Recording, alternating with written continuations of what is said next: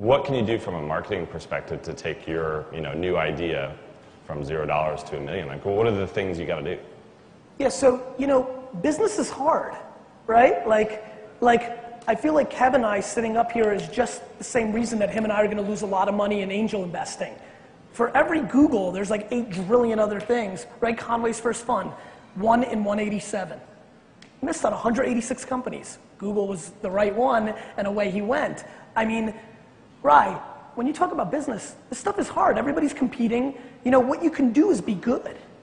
You know, it's like, like me sitting up here and telling you, like, how do you become an NBA basketball player? Well, fuck. You need a shitload of natural talent, and then you need to work your fucking face off your whole life to get there.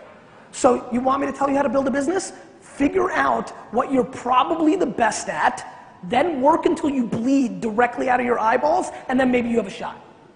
And, and, and I know it's kind of like funny and silly, but it's kind of the truth. Like, like nothing for nothing, Kev and I Kev was already internet famous. I really kind of wasn't when we first started becoming friends. We were talking on AIM at three in the morning, grinding. Yeah, I remember when, Gary, when I first met Gary, we were at FOWA in London.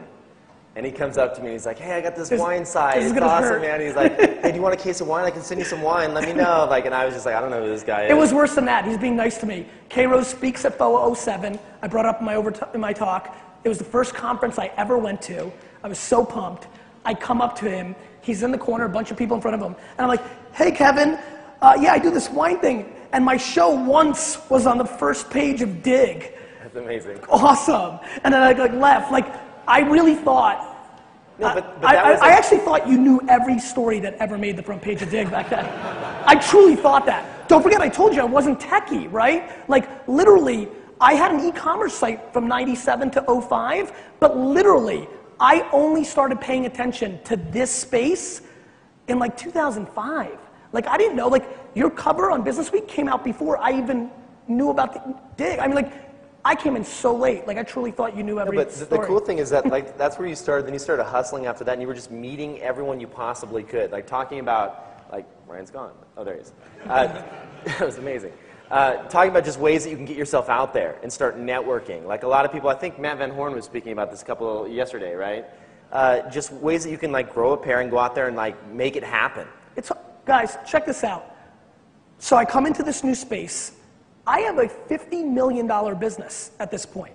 Like I made it amongst my friends. Like I built a real thing. Like like everybody thought I made it. I come into this space and I recognize, and I think this is a mistake a lot of people make.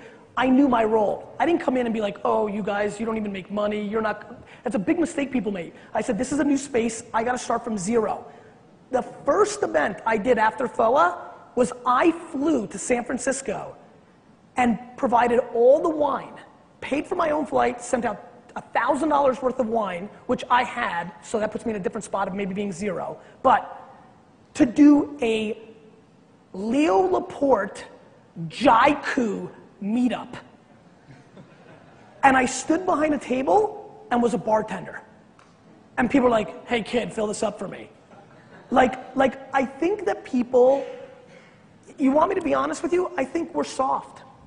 I think that, I think America's soft. I really do. I think if you look at how we're handling the global economy, we just keep kicking the can down the road. Shit's gotta hit the fan eventually. It's math. You know, there's nothing, you know, I think we're soft. I think people have a sense of entitlement. I don't give a fuck that you read TechCrunch for the last two years. You know, what have you built? You know, like, so like, I, I think there's an obnoxious, uh, you know, Ryan, to answer your question, it takes real talent, and then your talent is gonna be somewhere, right? Like either you're good enough to do a million dollar company, a 50, right. a 500, but even if you're good enough to do a million dollar company, which is a great number, an amazing accomplishment, by the way, Again, this whole fascination that you have to build a $7 trillion business. Even if you're good enough to build a million dollar company, you're gonna have to work your face off. Like, you just are. You're gonna have to work a lot. It's work. And a lot of people are competing for that dollar and that eyeball.